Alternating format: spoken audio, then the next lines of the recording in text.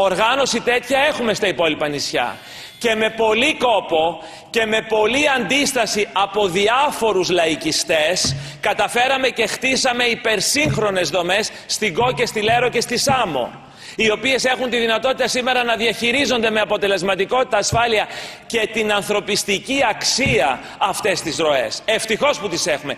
Και η δυναμικότητα δεν είναι 2.000, το επαναλαμβάνετε αυτό, διότι υπάρχει και το προκεκά το οποίο χρησιμοποιούμε και το ξέρετε πολύ καλά και στη Λέρο και στην ΚΟ. Άρα είναι πολύ μεγαλύτερη η δυναμικότητα. Εν πάση περιπτώσει γίνονται οι μεταφορές και επιταχύνεται η διαδικασία ασύλου. 6.500 αποφάσεις ασύλου έβγαλε η υπηρεσία ασύλου μέσα στον Οκτώβριο.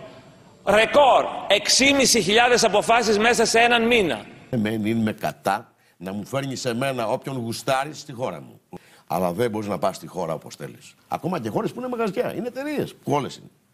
Δεν, δεν μπαίνεις σε καμία χώρα αν δεν έχεις βίζα και αν δεν σε καλέσουν.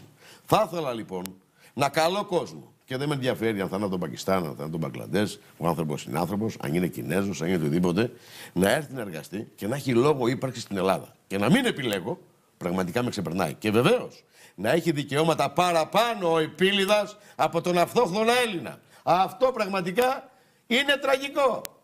Και από πώς έχει επιτραπεί. Πώς να έχεις περισσότερα δικαιώματα από τον αυτόχθονα. Πώς θα έχουμε εμείς οι Έλληνες περισσότερα δικαιώματα από τον Αμερικανό πολίτη. Πώς. Δεν συμβαίνει πουθενά στον πλανήτη. Στη χώρα μας γιατί συμβαίνει; Επιμένω ότι θέλω να επιλέξω ποιοι θέλουν να έρθουν να δουλέψουν. Σε μια τεράστια ανάπτυξη που και 3 και 4 εκατομμύρια εργάτες αυτή η χώρα μπορεί να αντέξει για να κατασκευαστούν αυτά που πρέπει σε μια πραγματική ανάπτυξη. Όχι μόνο του ΠΕΧΟΔΕ, αλλά σε όλη την ελληνική επικράτεια. Γίνεται κατανοητό; Κατανοητό, Αλλά δεν είναι θέμα ρατσισμού. Γιατί να μην σε επιλέξω; Τι μου βάνεις διαφήμιση και μου μαζεύεις σάρα μάρα; Τι είναι αυτά; Αυτό είναι το σχέδιο της κυβέρνησης και η κυβέρνηση, της ελληνικής. Α βάλουμε λίγο τα πράγματα στη θέση τους. Έχουμε πολύ μεγάλο πρόβλημα. Να γελάνε μερικές μαριονέτες.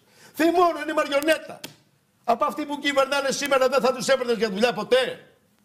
Βάζω στοίχημα μαζί τους. Να τους δώσω μια μικρή επιχείρηση να διαχειριστούν.